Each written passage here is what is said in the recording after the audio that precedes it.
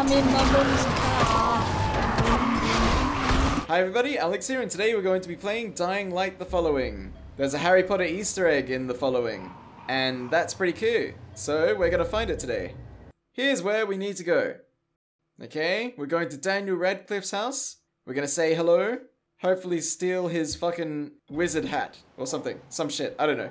We'll decide once we get there and meet Daniel Radcliffe. So, Daniel Radcliffe, I'm coming. Not in the sexual way. Okay, everybody, here we are at Daniel Radcliffe's house. We're gonna go in, say hello, maybe get some tea and crumpets. Hi, Mr. Radcliffe, where are you? Are you hiding under the stairs, Mr. Radcliffe? Haha, found you! What has he got? Oh, a jewelry box! What's in here, Mr. Radcliffe? Duct tape, you kinky bastard. And a tin can. Oh, that's still Daniel Radcliffe's stuff. What else has he got? He's got Harry Potter glasses! That's super cool. Now I'm stuck. I'm stuck in Daniel Radcliffe's bed. Oh, good. That would have been fucking horrible. Investigate the skull. What the fuck? North, south, east, west. What's going on? Hello? Mr. Skull?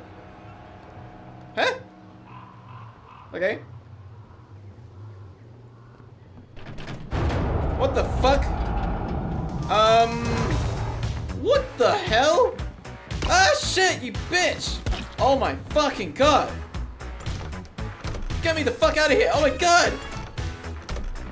Daniel Radcliffe, you kinky asshole!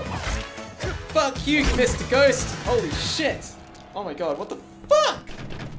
What the fuck? All the fucking windows are closing! Holy shit! oh my god! Get that shit! You son of a bitch, really?